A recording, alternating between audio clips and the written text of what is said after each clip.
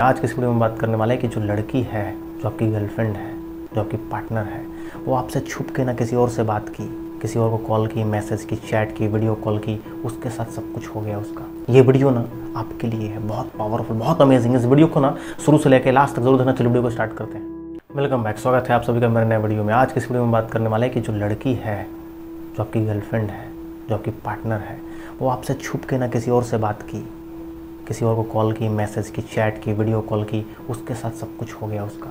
ये वीडियो ना आपके लिए है, बहुत पावरफुल बहुत अमेजिंग इस वीडियो को ना शुरू से लेकर लास्ट तक ज़रूर देखना चलो वीडियो को स्टार्ट करते हैं। देखो यार, जो लड़की है ना, वो आपसे छुप के आपको बिना बताए। किसी और से बात की, किसी और को कॉल की मैसेज की चैट की, उसके क्लोज गई।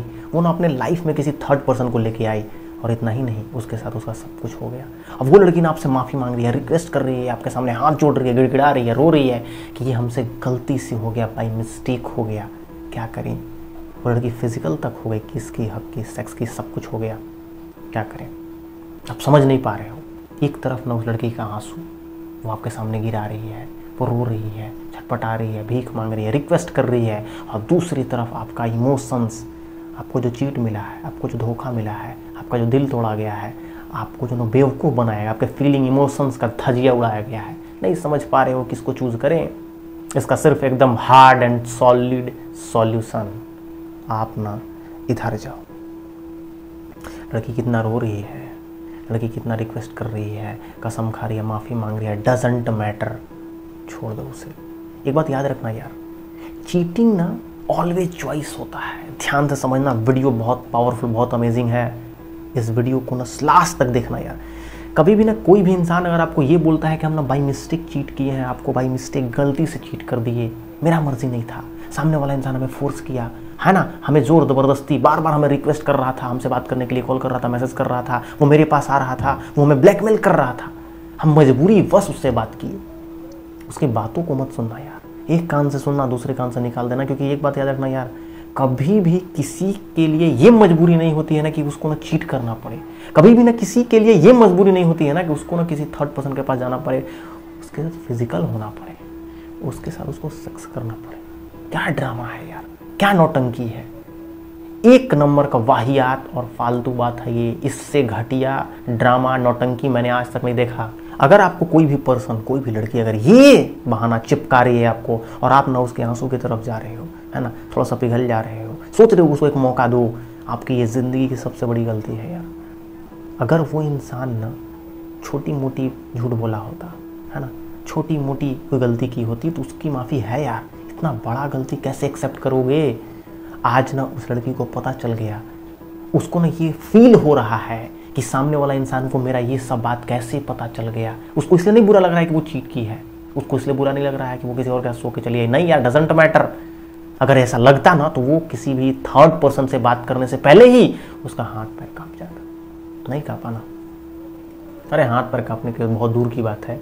उस लड़की को ज़रा सा शर्म नहीं आया, ज़रा सा हेजिटेशन नहीं आया, ज़रा सा आपके फीलिंग आपके इमोशंस के बारे में नहीं सोची, आपको झूठ बोलती रही लगातार, बहुत दिनों तक, कई दिनों तक, कई महीनों तक। उसका क्या यार? वो सब कहाँ चला गया? और आप सोच रहे हो उसको एक मौका दे दें? नहीं यार। आपकी सबसे बड़ी गलती है इसको कन्फ्यूज़न को एकदम क्लियर करो। बहुत सारे लोग, बहुत सारे लड़के हमसे क्वेश्चन पूछते हैं। हमें समझ नहीं आता कि मैं उनको कितना समझाऊँ। मेरी वीडियोस को देखो यार, मैं हर एक वीडियो में एक ही चीज़ बोला हूँ कि किसी का ना इंटेंशन है अगर चीट करना है उसका नीयत है, उसका फितरत है, उसका आदत बन गया, वो इंसान ज़िंदगी में कभी नहीं सुधरेगा यार। आप ये लिख के रख लो। उससे जितना जल्दी हो सके दूर हो जाओ अदरवाइज़ वो लड़की ना आपका लाइफ को हेल बना के रख देगी। वो लड़की अगर आपके पास आज रिक्वेस्ट कर रही है, माफ़ी मांग रही है तो इसलिए नहीं कि उसको अपनी गलती का एहसास हो गया, बल्कि इसलिए ना। कि वो लड़की के बारे में आप जान गए सच्चाई, है ना? इसलिए। वो लड़की ना वो छुप छुप के जो गेम कर रही थी, वो नहीं कर पाएगी।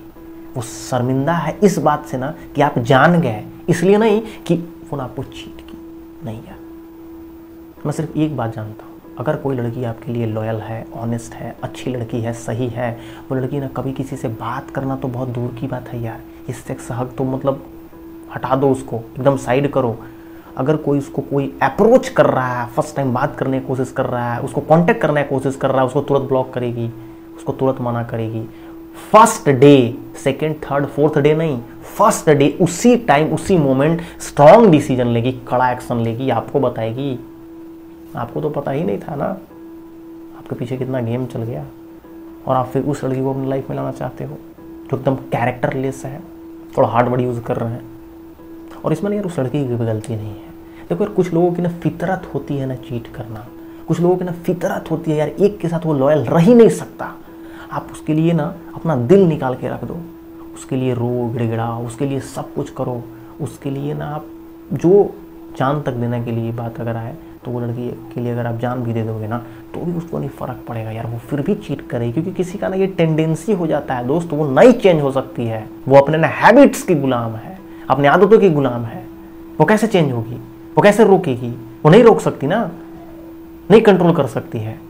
आपका इमोशंस आपका जो उसके प्रति प्यार है ना, इस वजह से ना, वो लड़की अभी रो रही है। उसको थोड़ा सा फील हुआ होगा बुरा। इतना हाईली अदरवाइज़ ना, फ़र्क तक नहीं पड़ रहा होगा उसको। ये रियलिटी बहुत सारे ऐसे लोग होते हैं। समझ में आया? कभी भी अगर आपके लाइफ में ऐसा मोमेंट आए कि सामने वाला पर्सन सब कुछ कर ले, मत उसको एक्सेप्ट करना यार। क्योंकि अगर उस लड़की को अगर आप एक्सेप्ट कर भी लिए ना तो कभी हैप्पी नहीं रह पाओगे। ध्यान से समझना, बहुत कमाल की, बहुत हार्ड बात बता रहे हैं, एकदम ध्यान से समझना कैच करना। अगर उसको फिर से रिलेशनशिप में ले लाए फिर से उसको एक्सेप्ट कर लिए, फिर से कोशिश कर रहे हो कि सब कुछ पटरी पे आए स्टार्टिंग का कुछ दिन तो नॉर्मल रहेगा। अच्छा नहीं रहेगा नॉर्मल रहेगा। ऐसा नहीं है कि जन्नत में आप चले जाओगे, नहीं। नॉर्मल रहेगा। लेकिन कुछ दिन के बाद वो सारी पास्ट में उसकी की हुई गलतियाँ जो, है ना पास्ट एक्चुअली नहीं बोलेंगे, वो प्रेजेंट में ही जो कुछ भी किया आपको चीट की, वो सब भरना स्टार्ट होगा। वो बात निकलना स्टार्ट होगा, उसके बारे में डिस्कस करना स्टार्ट करोगे, क्या किया, कहाँ तक बात किए, कैसे चैट किए, कब मिले, क्या हुआ तुम लोग के बीच में, कैसे हुआ, ये डीप में जाने लगोगे। इसको कैसे रोकोगे यार? इसको तो आप रोक ही नहीं सकते। और जब ये सब चीज़ आप डिस्कस करने लगोगे, आप इतना मेंटली इम्बैलेंस हो जाओगे डिस्टर्ब हो जाओगे, आपका जो मेंटल लेवल है वो ना पीस जो है, आपका शांति सब डिस्टर्ब हो जाएगा। क्या करना चाहते हो? जो भी आपका करियर है, आपका जॉब है स्टडी है, सब कुछ ख़त्म हो जाएगा दहीन हो जाएगा। फिर आपको इससे बाहर निकलने में महीनों दिन लग जाएगा। अरे, बहुत सारे लोग तो सालों तक नहीं निकल पाते हैं। ये रियलिटी है। मैं आपको ना आपका फ्यूचर दिखा दे रहा हूँ अभी। एकदम यही आपका फ्यूचर है।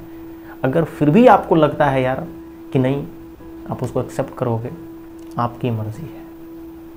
आपका चॉइस है, आपका लाइफ है। मेरा काम था एडवाइस देना।